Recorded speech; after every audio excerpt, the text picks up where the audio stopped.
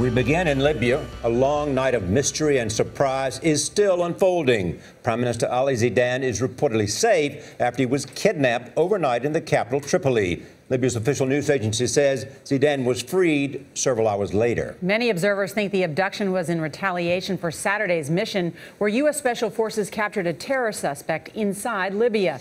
Mark Phillips is tracking developments in London. Mark, good morning. Good morning, Nora, Charlie. Well, it was an arrest or an abduction or a kidnapping. Pick one.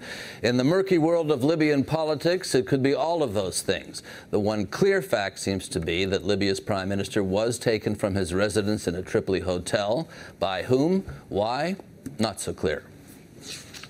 The prime minister is Ali Zeidan, removed by a gang of armed men, no shots fired, from the hotel where he's been living. But what really happened and for what reason has been a moving feast all morning. The head of security at the hotel says the gunman arrived with an arrest warrant, but the department, which is alleged to have issued the warrant, has said it knows nothing about it.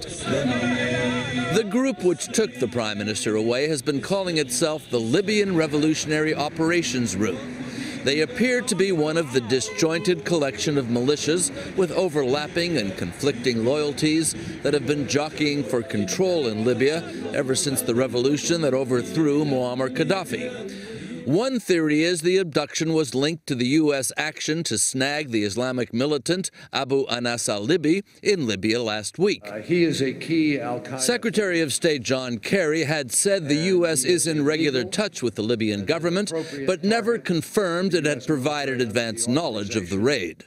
Another theory is that Zeidan was picked up in connection with corruption charges. This is a country where shows of force by various militias are not uncommon. In May, one of those groups surrounded the government buildings to make a point. The point made today is that the Libyan political and security structure is as stable as the proverbial house of cards.